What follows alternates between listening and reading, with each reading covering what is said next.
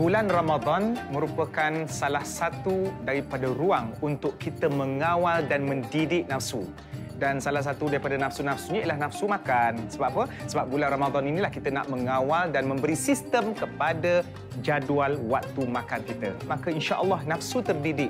Maka bila nafsu terdidik, nafsu-nafsu yang lain kita tak akan tengok benda-benda yang tak elok di mana boleh mengurangkan pahala puasa kita.